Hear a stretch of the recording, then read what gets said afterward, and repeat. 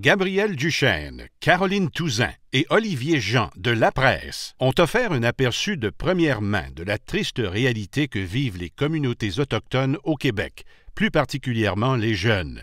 En examinant un nombre incalculable de rapports de coroner, ils ont découvert que le taux de mort violente y était cinq fois plus élevé que chez les jeunes non autochtones.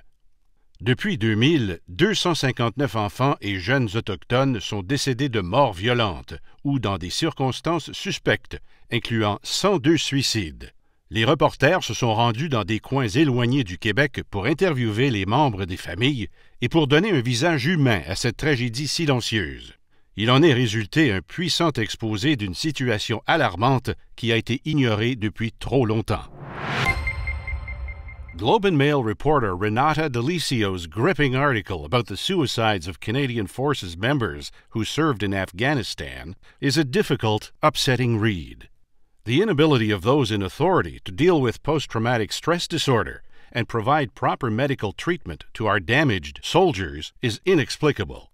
By combing death notices, interviewing families, and eliciting information from a resistant military through eight relentless months of access to information requests, she put a number on these suicides for the first time 54.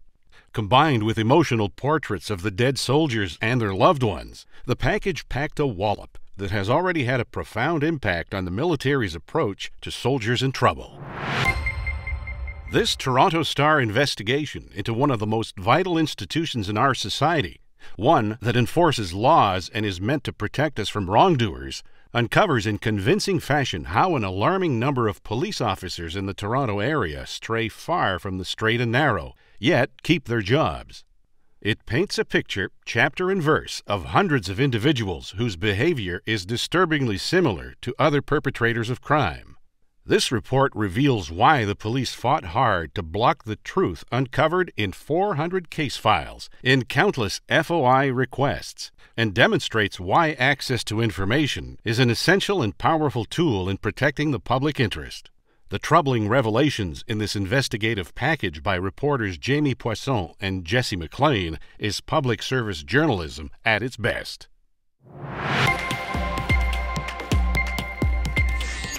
Acquisitions we need to be conducting. And after the hell year we've had, I think it's amazing that we're still producing work like this. So let's see which of these. Let's see, quelle grande enquête is in the envelope.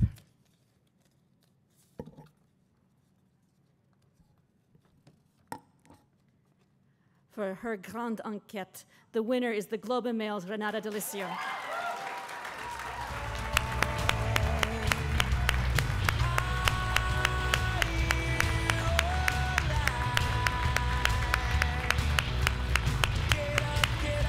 It was Renata's birthday yesterday, so this is this is her belated birthday present.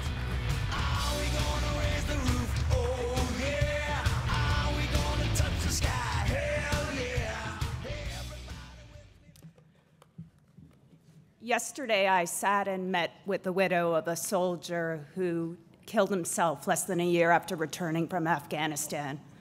It's taken her five years to feel ready to tell her story. And this is the thing about suicide it's something we don't talk about, it's difficult.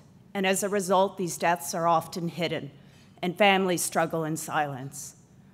I want to thank the families of Paul Martin, Scott Smith, Ron Anderson, and Jamie McMullen for sharing and trusting me with their stories. They gave meaning to the statistics and the ATIPs, to information that the government and the military didn't want the public to know and they gave a voice to the more than 60 other soldiers who have taken their lives after returning from the Afghanistan war. Unfortunately, it's a count that keeps growing. I want to thank my editors at the Globe, Dennis, Sinclair, and David, for their support, patience, and their commitment to investigative journalism.